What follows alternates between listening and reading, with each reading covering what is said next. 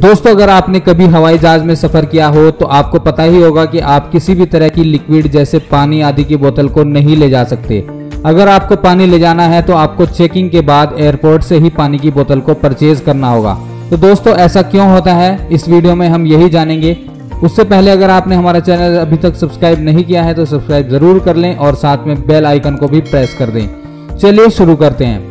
दोस्तों, हवाई जहाज़ में सफ़र करते समय आप अपने घर से किसी भी तरह का लिक्विड यहाँ तक कि पानी की बोतल भी नहीं ले जा सकते।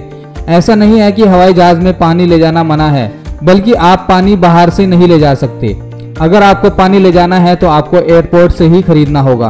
तो दोस्तों, आप सोच रहे होंगे कि अजीब ज़बरदस्ती है, पैसा बनाने के बढ़िया तरीके हैं। तो दोस्तों, ऐसा कुछ भी नहीं है। इसके पीछे एक सुरक्षा कारण है। जी हाँ दोस्तों, आजकल कुछ सिरफरे लोगों ने कुछ ऐसे भी केमिकल बना लिए हैं जो दिखने में बिल्कुल पानी की तरह लगते हैं, लेकिन ये केमिकल हाई प्रेशर में जाने पर बम की तरह फट भी सकते हैं और एरोप्लेन में सवार लोगों की जान को खतरा बन सकता है और ये केमिकल दिखने में बिल्कुल पानी जैसे लगते हैं और बिना केमिकल टेस्ट किए पानी और इनमें डिफरेंस करना बहुत मुश्किल होता है, खासकर एयरपोर्ट चेकिंग के दौरान तो बिल्कुल भी नहीं।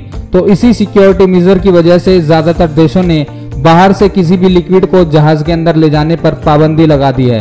तो दोस्तों, उम्मीद है आपको ये जानकारी अच्छी लगी होगी। वीडियो पसंद आई हो तो लाइक और शेयर ज़रूर करें। जल्द मिलेंगे एक और नई वीडियो के साथ। तब तक के लिए आज्ञा दें। जय हिंद, जय भारत।